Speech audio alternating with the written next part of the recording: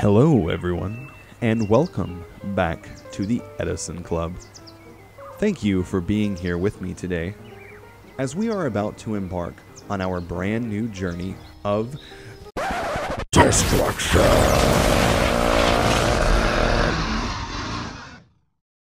Are you into high rarity snobbery? I am not worthy. Or perhaps you prefer the common man's bargain hunt? What the? What the? Yugi? Is that a? Is that a Lyla? Normal summon Lumina, in phase mill wolf, wolf, wolf. Watch your opponent devolve into tears.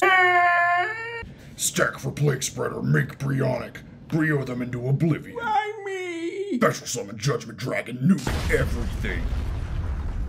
Does this sound appealing to you? Well, then you've come to the right place. Welcome to the Edison Club's ultimate Lightsworn Guide. What's going on, everyone? And welcome back to the Edison Club on episode number one of our new video series, The Ultimate Lightsworn Guide, brother. Hope you guys enjoyed that new introduction and my best Randy Savage impersonation. As always, guys, before we get started with today's video, please make sure that you like, share, comment, and subscribe. Really motivates me to keep going and motivates me to keep making the ultimate Lightsworn guide. We want to drop Judgment Dragon, guys. We want to blow up our opponent's board, watch them suffer. So if you want more of that, definitely hit the like, the like button and the subscribe button. Share it to your friends because I know as well as you do, everyone loves Lightsworn. So, Today's discussion video is going to be all about the different deck builds of Lightsworn, and I'm kind of going to go over the normal cards that you would see included in the Lightsworn deck and some tech cards that might be a little less known about. So, right here is going to be a primary example of regular old, just pure Lightsworn. So, this is primarily going to run only Lightsworn monsters in their normal quantity. So, normally you're going to see like something along the case of one Aurkus, two Celestia, one Ehren, one Garoth, uh, one to two Jain. I am personally a big fan of playing two of this card. I think a 2100 normal summon that also mills two really just does a lot of what the uh, what you want the deck to do. Uh, you're always going to have two Judgment Dragon.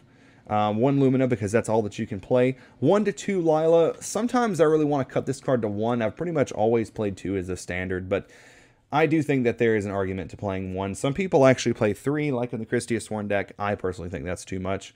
Um, usually going to see two to three Ryko. Some people play one hamster. Some people play zero hamster. I am also a big believer that in Pure Lightsworn, we're going big. I think in Pure Lightsworn, you should always be playing triple copies of Wolf. Obviously, there are no absolutes in Yu-Gi-Oh! Everyone has different opinions, and that's okay. It's what makes the, the game great. That's what makes the game so appealing to me is the different opinions and how you can just try all these crazy things. So, but my personal opinion, I always like three. Obviously, play the one charge. Some builds play Gold Sarcophagus. I'm actually not a huge fan of Gold Sarcophagus right now. Uh, Gold Sarcophagus is a very good card um, for building your Lightsworn deck to, well, be able to combat the mirror match better because the mirror match is going to be all about who can see Judgment Dragon first, and Gold Sarcophagus just helps you with that in my personal opinion, I don't like Gold Sark and Pure Lightsworn right now because I think the deck needs to be built to combat Blackwing as best as it can. And I think that kind of every card in your deck needs to be a real card aside from Wolf because we're always going to play triple Wolf. But I don't really want three Wolf and double Gold Sark in my deck. I want my cards to be able to do as many things as possible. And that's just how I choose to build my Lightsworn deck. But you can build yours however you want. Um, here's a big one that I'm a fan of. I'm actually more of a fan of Monster Reincarnation in Pure Light Sworn over Beckoning Light because normally in Pure Light Sworn, you're not trying to swap your hand for a different hand like you are in Christia Sworn. Christia Sworn, you can flip over Beckoning Light, essentially just swap your hand for another hand and be able to summon stuff like Christia, Soul, Purity, and Light. But in this one, a lot of times you're just wanting to get rid of something like a Necro Gardna, a Plague Spreader, a Dead Wolf to be able to swap it for a Judgment Dragon or an Honest. So that's pretty much the rundown on pure Lightsworn, and we have a couple variants of Lightsworn here we're going to cover. Um, this next one here is actually what most people would consider to be Twilight Sworn. In my recent months of testing, I've actually found that Twilight Sworn should actually be played significantly different from how most people seem that should be played. I personally am not a big fan of throwing Chaos Sorcerer and cards like throwing cards like Chaos Sorcerer and Tragoedia just into the deck mindlessly just to be darks for the one Chaos Sorcerer, I don't really think that it's worth it. In my opinion, I think that uh, Twilight Sworn looks more like mixing light sworns with zombies and incorporating chaos sorcerer things like that i just think when in my personal opinion and the testing that i've given to this deck i think that this deck is more clunky than pure light sworn I do think that Lightsworn has better top decks. So here you can see we have like Three Wolf, we have Gold Sark, we have Tragoedia, who I am also just not a big fan of in Lightsworn in general, but we'll, we'll circle back around to that. But um, I definitely have played Twilight Sworn in the past. I don't think that it's a terrible deck. I just think that there are better options. Now we're going to get into the third build of Light Sworn here, the build that I am current that I am not a big fan of. So, quick backstory: when this deck won or topped, I believe it was James Ark that either won or topped with this. Um, sorry that I don't have the exact facts, but I was so infatuated with this deck because when you look at this deck on paper, you really say, oh my god, this deck should be just absolutely insane.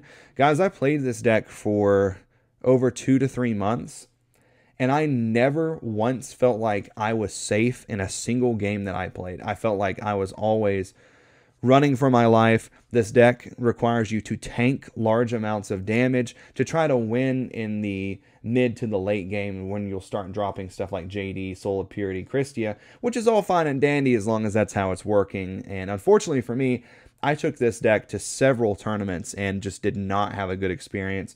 Drawing multiple Christias alongside Judgment Dragon, drawing Christias alongside Soul Purity and Light, drawing too many copies of Hamster, too many copies of Ryko altogether. I know that it's kind of like a meme in the Lightsworn community that like the bad Lightsworn players want to mill Wolf. But in my opinion, this is just my opinion. Once again, there are no absolutes in Yu Gi Oh! In my opinion, Lightsworn was made to be able to get free card advantage off sending cards from deck to the graveyard. So I think that that is how the deck should be built. I think that you should be milling cards like Wolf to the graveyard. I do understand the theory. I do understand the theory here that while you don't mill any quote unquote real cards in this, you're milling cards that are going to set up your game plan later. You're going to be milling fairies for Soul of Purity, fairies for Christia, all kinds of things like that, trying to set up your game plan mid to late. My biggest experience with this deck was it was pretty much impossible to beat even a base uh, skill player Blackwing, uh, base skill, basic skill Blackwing player. I don't think that throughout the history of me playing this deck, I ever beat a Blackwing player once.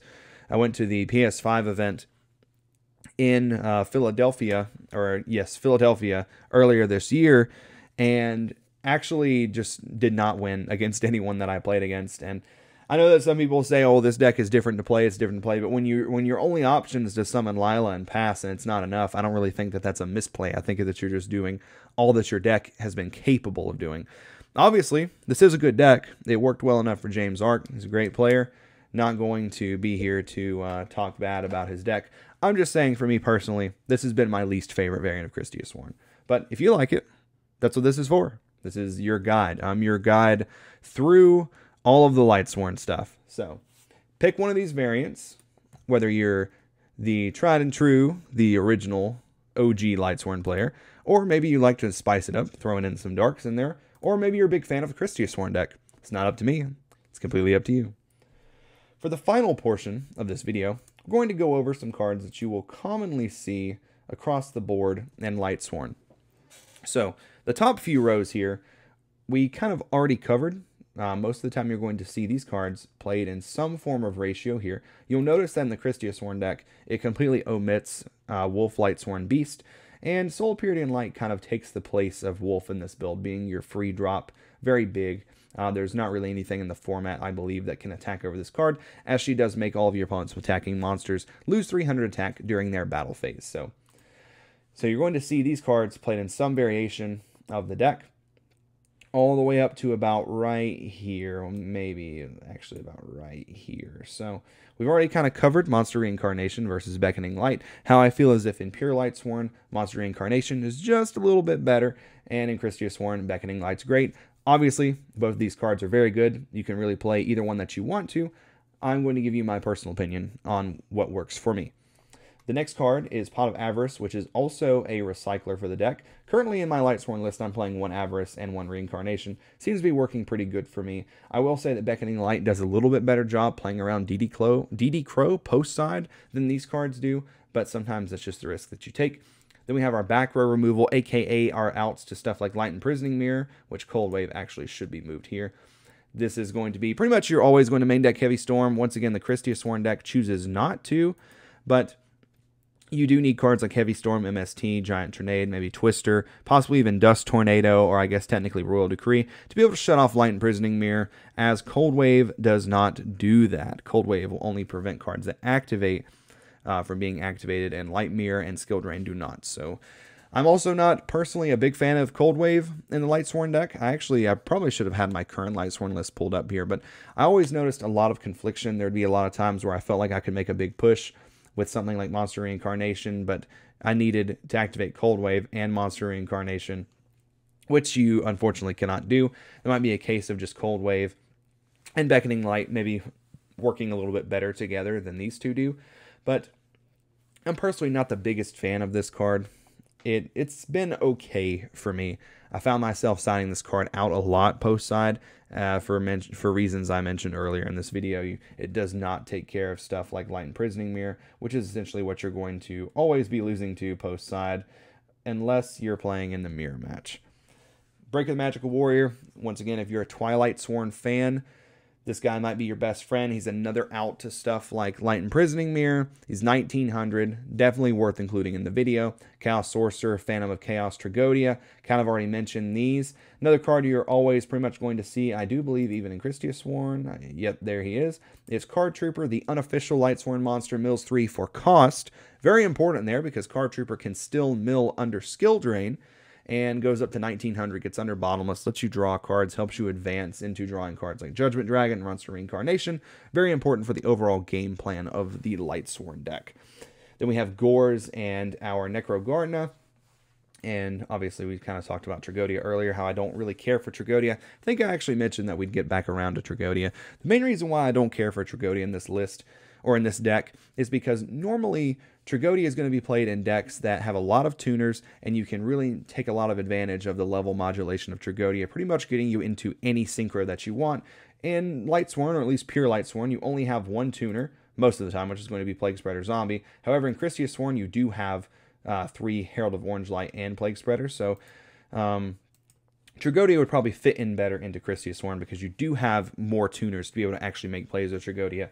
In Pure Lightsworn, I'm only incorporating Gorz and Necro Gardna. Speaking of Plague Spreader, Plague Spreader is pretty much an inclusion around the board. You're always going to see this guy playing Lightsworn. It's the best tuner for obvious reasons, sending it from top of, de- top of deck to grave. Uh, a card I really wanted to talk about here was a card I have been putting in my Pure Lightsworn list for about the past month, and I run one Junk Synchron. Now, before I talk about Junk Synchron, I'll talk about the next card here, which is Reinforcement of the Army. That kind of acts like a second charge of Light Brigade, because it can get you into Ehren, Garoth, or Jain, but also Junk Synchron. So I really like including this guy in my list. He brings back Ryko, makes Catastor, makes Magical Android, also has a few hidden capabilities. If you want, you could throw in something like Junk Archer to be able to uh, have more access to level 7s, and also cards like Zeman the Ape King. So a play to make Zeman, Zeman the Ape King would be something like Flip Ryko, Papa set, normal Junk, bring back a Ryko, make this guy. And while that may not sound like it's the best, Pure Lightsworn has a pretty broad extra deck, so you can kind of include things like this. This guy hops over spells and trap cards when you attack, so I think that he could definitely be worth including. I'm trying him out. Probably won't ever actually make him, but this guy also lets you make Arcanite Magician, which is something you normally probably, I don't believe, could make.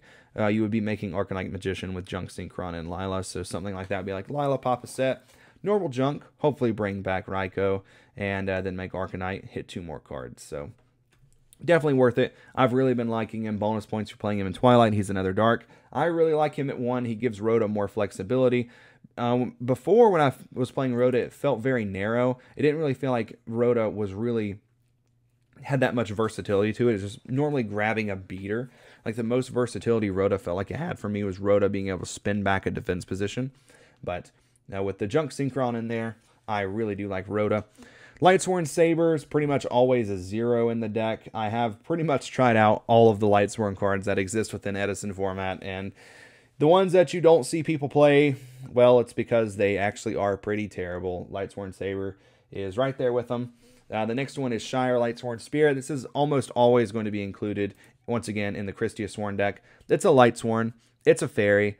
This guy can actually get pretty beefy pretty quickly, so definitely has its applications within Christia Sworn. Pure Lightsworn, not so much. You don't really need her. Jenis Lightsworn Mender, no one even knows what this card does. I did try it out for a little while as an extra name. It is 2100 defense, which sometimes could actually be kind of okay. But I think if I was going to go that route, I'd probably just play a second Aurkus because Aurkus is very strong. Gragonith is pretty much not included in any Lightsworn list either. I do believe that a few people have tried playing like Lightsworn Dragons before, and this guy is normally included in there. He's actually kind of good. He does piercing battle damage, mills 3, gains 300 attack and defense for each Lightsworn monster with a different name in graveyard. Gets pretty big, but um, he's pretty difficult to summon, so that's why you're normally going to see decks that play stuff like Darkness Metal that can just turbo this guy out very quickly.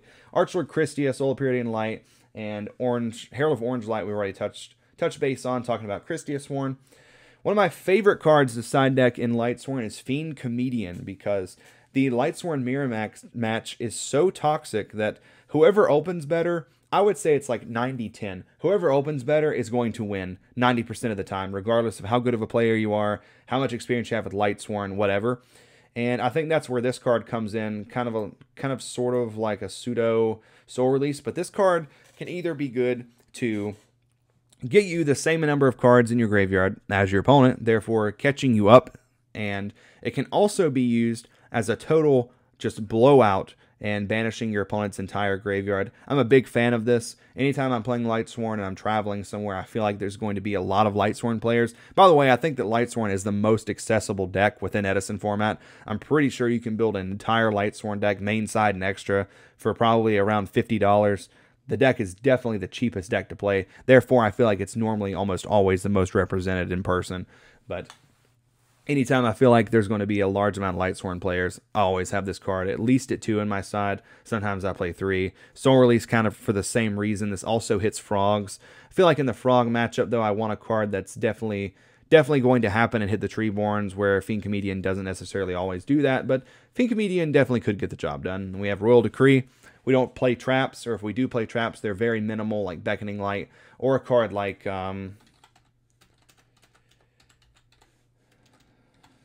if I could type here. Threatening Roar, which I actually can't believe I forgot to even include in here. I have this card at 3 in my current Lightsworn list. But we don't play that many trap cards. Royal Decree is very good. Royal Decree plus Judgment Dragon makes all of your trap card opponents very sad. Just don't forget if you're signing this card in that normally I like to take out Gorz. I feel like the confliction here, while while playing two Decree and one Gorz, it probably shouldn't come up. Comes up a lot more than it probably should for me, so I normally do take this guy out when I put this card in. Brain Control is pretty much a given. Gets even better in the Mirror match, taking their Lightsworn, tributing it off for Celestia. Book of Moon is a card I'm a big fan of in the deck. I actually play three in my list. Book of Moon can reset your Rykos when your opponent attacks. It's like, let's say my Ryko survives their turn. I flip it, hit their back row.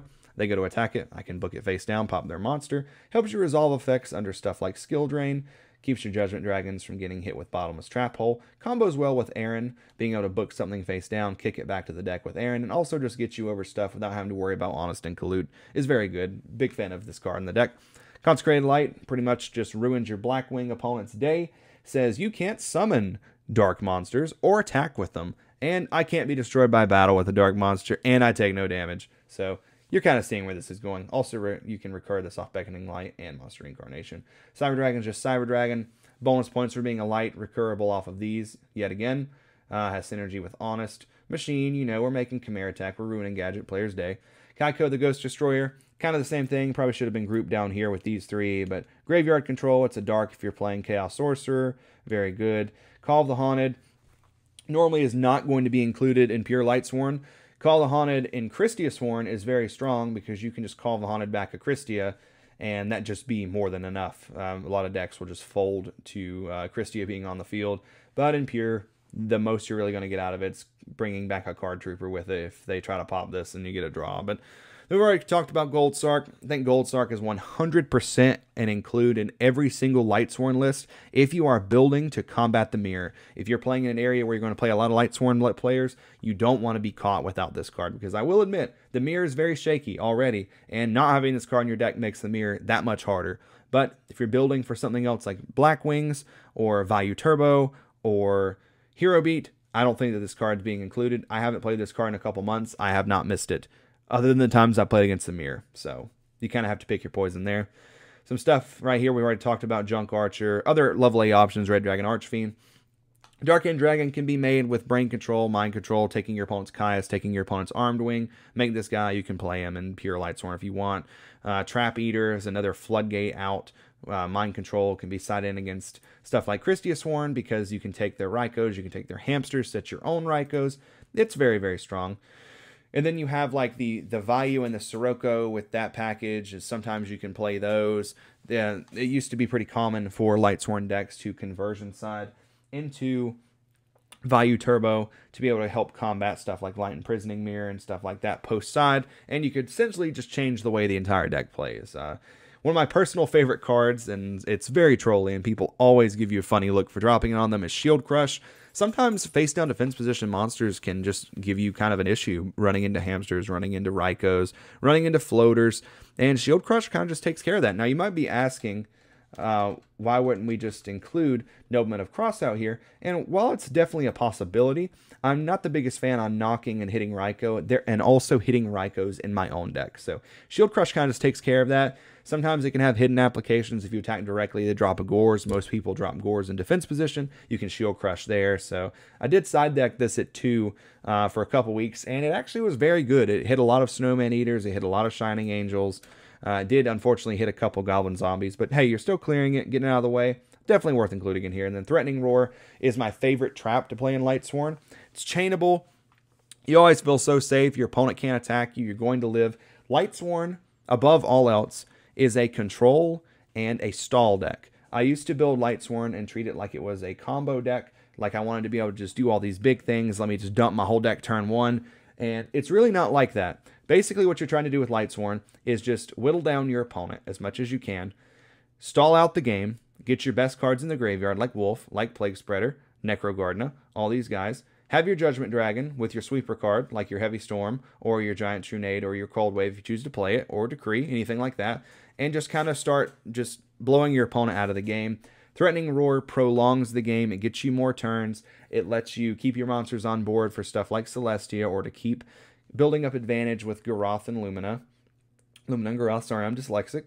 And it just prolongs the game. It really helps out your game plan. It just lets you live. And I think that's very important for, for Lightsworn to just be able to stay in the game. And I've cut this card from my list several times. I've regretted it nearly every single time I've done it and it will always be played in my deck, at least at two, but I'm actually currently testing three. So we've already kind of went over the extra deck here. There's not a lot to really say here. Always include Tempest Magician in your extra deck because it does come up.